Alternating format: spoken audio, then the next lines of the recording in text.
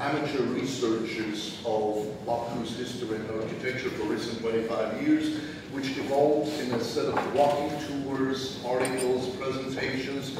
So what I'm going to present to you today is in no way a kind of academic scientific report. It's just a personal um, sort of observation of the architectural transformation that has uh, been kind of witnessed in Baku for a recent century and a half, uh, because um, a tremendous change that the city has undergone since 1870s all the way to this day, partially triggered by oil, industrial development and stuff like that, had its own impact on the architecture and an enormous cultural and ethnic diversity that Baku had at the times of its most rapid development had a direct impact on the type of architecture we have and what I tend to call the phenomenon of Baku's architecture.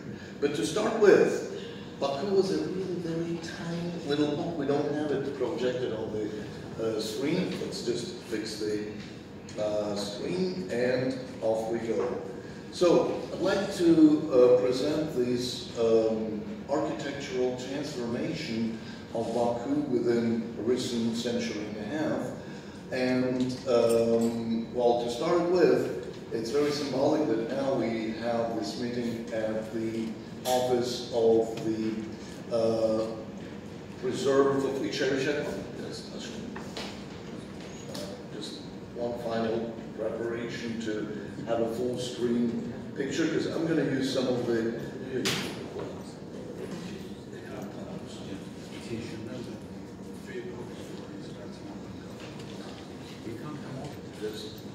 Okay, now we're talking. So, to track the transformation in architecture and image of Baku, we have to get back at least a century and a half ago. Um, the area we're in now, the Citadel of Baku, which is the uh, part of UNESCO's cultural heritage, is one of the oldest walled cities in the area.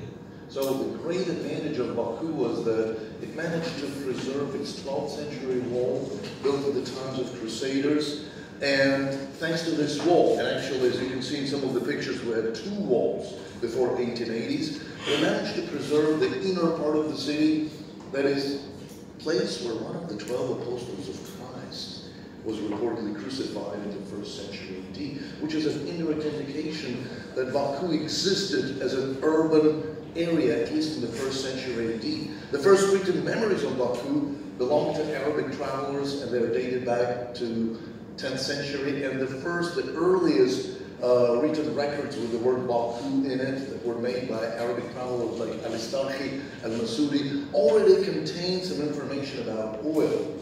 Yet, for a number of centuries, Baku was just a tiny transit trade center.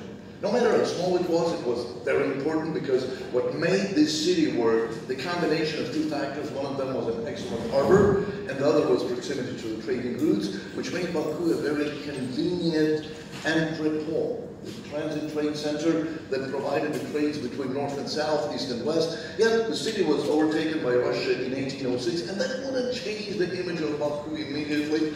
Well, it was not after 1859 that Baku became a provincial center. Before that, it was just a district center. But no matter how tiny it was, it had a very important role to play. Yet, the great change would come in 1872 when Baku became the place for a tremendous oil boom. Well, in 1872, the Russian authorities of the day introduced concessions in oil business and that would really change the image of what used to be a tiny little transit trade center and convert it into a tremendous industrial place. So Baku was like a genie that was let out of the bottle.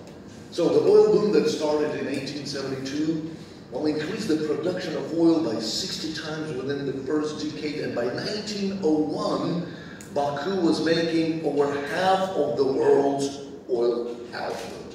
So that immediately changed the image of the city. So it used to be a tiny little citadel with 2,000 years of history, but only 14,500 residents in 1872. grew to 143,000 in 1901, and then a decade after, by the beginning of World War I, Baku was a city.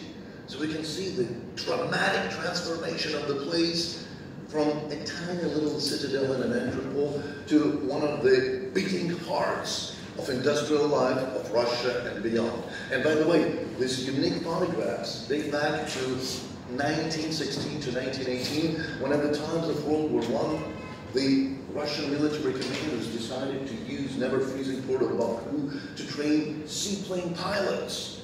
So in 1915, when aviation was making first timid steps worldwide, hydroplanes were soaring over Baku, and one of the elements of training of hydroplane pilots was this aerial footage. So we got this unbelievable heritage of aerial snapshots of the city, which far not every European city could boast of at that time. But this is a valuable evidence of the rapid transformation the city was undergoing. But to start with some figures, look at the population of Baku. In 1806, when Baku became part of Russia, there were no clear census. The first real census in 1810 would reveal 5,300 residents in the citadel of Baku. And it wouldn't grow too much until 1872. In 1872, we had 14,500 residents. Yet in 1903, it was 143,000. So the population skyrocketed 10 times within the first 25 years of the oil boom. And then it was doubling every 8 to 10 years. And even New York didn't have the growth rate that Baku had at that time. And the result of this kind of growth was an enormous ethnic and cultural diversity of the city. By the beginning of World War I, not a single ethnic community exceeded 36% of the population in Baku. So the Azeris and the Russians were the two leading communities of 34 and 36% respectively. Armenians were the third largest ethnic group, traditionally thriving in Baku and still missing the place. And by the way, we still have Armenian church preserved in downtown of Baku, so the legacy is still preserved. And the fourth largest ethnic group were Jewish. And after Jews, you had Germans.